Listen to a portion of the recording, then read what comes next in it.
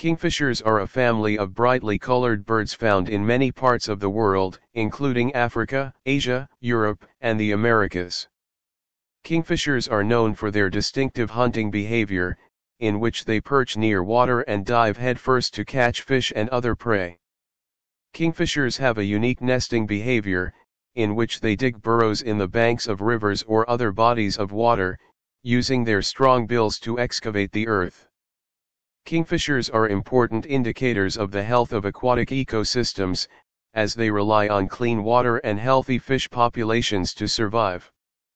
Kingfishers are an important cultural symbol in many parts of the world, and their populations are threatened by habitat loss, pollution, and other human activities.